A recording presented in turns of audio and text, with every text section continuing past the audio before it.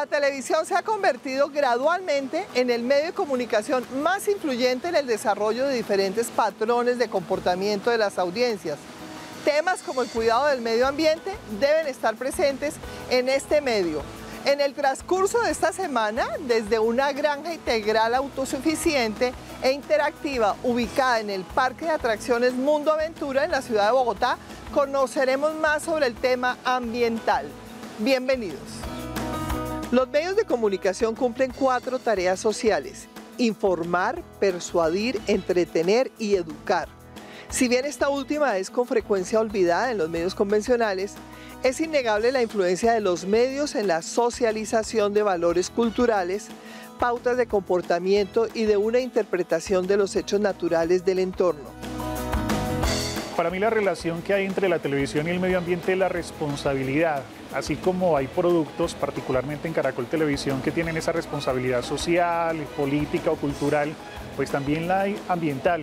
Y en este caso uno de los productos que está al aire hace más de 10 años es la finca de hoy y es a través de este espacio precisamente donde el canal fomenta esa responsabilidad en las audiencias a través de los diferentes proyectos que nosotros presentamos diariamente o de los informes periodísticos que se hacen a lo largo y ancho del territorio nacional.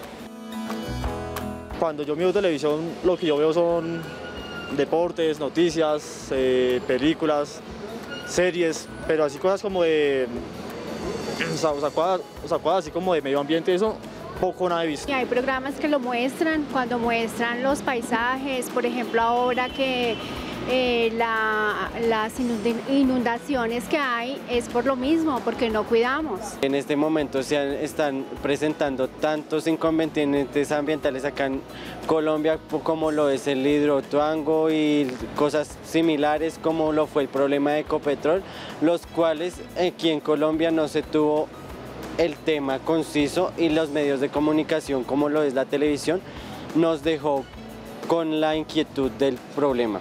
Recientemente sí he visto que digamos, eh, nuestra televisión ha progresado. Tenemos diferentes canales que muestran alternativas diferentes a lo convencional. Eh, y ahora mismo pienso que sí se ha enfocado un poco más y se ha centrado al mismo tiempo en, en la formación sobre temas ambientales.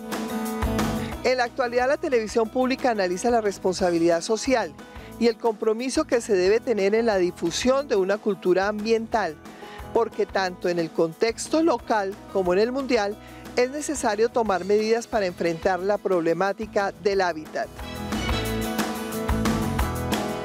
Para nuestro caso puntual de la finca de hoy, pues es un proyecto muy bonito porque nosotros tratamos de que en cada una de las emisiones o de los capítulos podamos enseñarle algo a los televidentes y esa enseñanza va orientada desde el mismo campo colombiano. Inclusive se dice que una de las profesiones del futuro indispensables para la supervivencia humana, más que profesiones oficio, es el ser agricultor. Y nosotros desde ahora queremos resaltar la importancia que esas personas tienen en el papel del desarrollo o el sostenimiento de las ciudades. Es importante porque como estamos viendo, los climas son cambiantes y no sé, por eso son las catástrofes, porque no cuidamos. Si la tele nos muestra, nos enseña, pues recogemos más de esa información y podemos hacer las cosas mejor. No, es importante porque estamos en un mundo eh, de constante evolución, ¿sí? digamos en las grandes urbes, eh, temas, los temas ambientales y la educación sobre los mismos es, es, muy, es imperativa y bueno, pues digamos que eh, con temas de, por ejemplo, usted ve las avenidas principales en Bogotá y hay índices altísimos de contaminación. Desde los años 80, la televisión colombiana empezó a incluir dentro de su programación contenidos enfocados en temáticas ambientales, como lo fue Naturalia con Gloria Valencia de Castaño. En la actualidad la televisión sigue activa en este asunto ambiental y más con las problemáticas que enfrentan comunidades damnificadas, por lo que se ha convertido en un tema vital y polémico.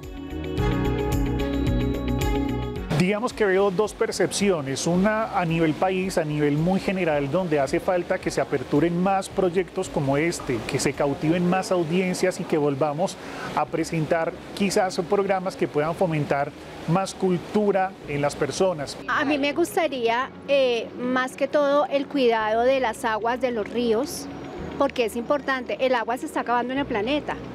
Entonces es importante que nos muestren y nos enseñen. Muy pocas personas saben eh, compostar, por ejemplo, que es aprovechar los recursos que se generan para, bueno, para, aprovecharlos de otra manera. ¿sí? Eh, también pienso que en los grandes mercados de, productos de consumo también hay un impacto fuerte en el desecho y no se le está dando un, uso adecuado. Para que los medios de comunicación sean vehículos adecuados para la educación ambiental, es necesario que el receptor intervenga en el proceso comunicativo para que se convierta en actor y emisor del mensaje recibido. Hasta pronto.